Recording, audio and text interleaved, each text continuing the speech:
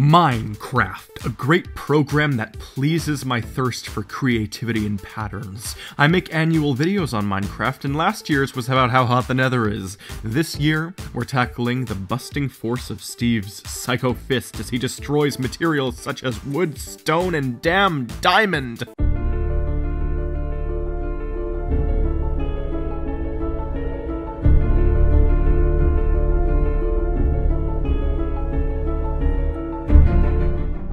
Hello, I'm the Theorizer, and using a few simple formulas of my own creation, we can easily figure out how much force Steve throws per punch when hitting each kind of block.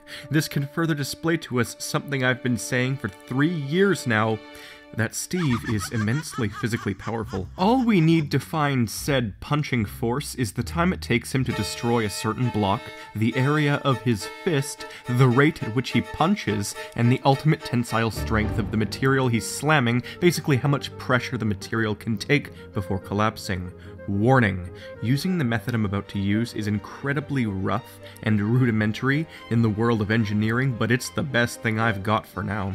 It probably has a few flaws, but it will, in the very least, give us a baseline for how hard Steve can punch. So, I'll test a few materials. The most reliable materials for data are diamond and other blocks that are so difficult to punch and have a rocky base. So here's the formula, and right off the bat we know Steve's hand area He's almost 2 meters tall, so comparing that to the size of a pixel and using the square area formula to find the surface area of his fist, we have that. Another easy one to find is the rate at which he punches, how many punches per second. It's easy. Watch him punch a bunch, time it, divide the number by time, boom, the answer is found there as well. The other two values are the variables, the things that change depending on the material he's attacking, the material's strength, and the time it takes him to destroy a block of it. Let's start off with something wickedly strong, diamond. Its real-life ultimate tensile strength varies greatly, but taking theoretical averages, it could get to an average high of about 125 billion pascals. It took me about 25.35 seconds to break a block of it, resulting in a force of 54 million newtons per punch? That's around 12 million pounds he's lashing out, more than enough to actually kill someone. I guess now we know how he can hold so many things in his inventory. Granite, on the other hand, has a strength of 16 million pascals and takes just 7.75 seconds to mine by hand. This makes his punching force when wrecking that around 22,640 newtons. He's picking and choosing how hard he punches each material, depending on how hard they are. Out of everything in the game, Diamond has the highest punching force, even more than Obsidian, because despite the fact that it takes 250 seconds to mine by hand, the actual strength of Obsidian is only around 2.3 billion pascals, far less than Diamond. This gives it a measly 101,000 newtons per punch. Interesting. Using this same formula, 135,000 newtons was the average for wood.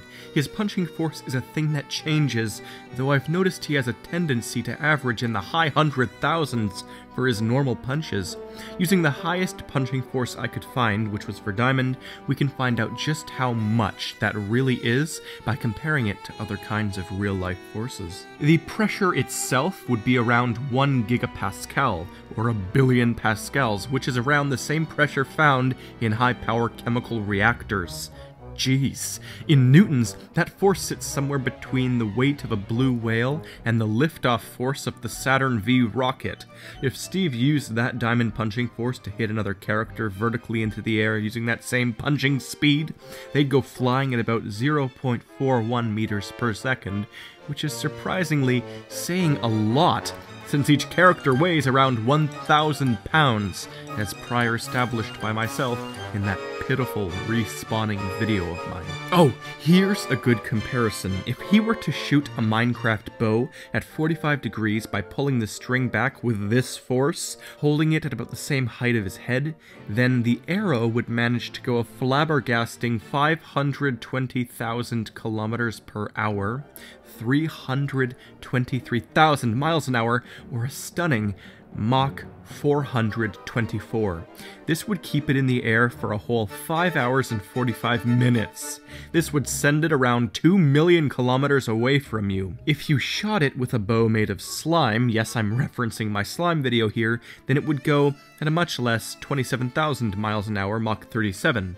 It would have a mere 30 minutes of airtime, but would still travel a whopping 15.8 thousand kilometers away. So yeah, Minecraft has taught us at this point that the physics it contains are quite intriguingly exaggerated. I wonder what else can be found here. Sorry about this short but sweet video, it's just that so many more videos are being created at this time by myself, and this was a little one to tie you all over, instead of leaving this week blank. So yeah, I love these little physics videos, and apparently so do many of you.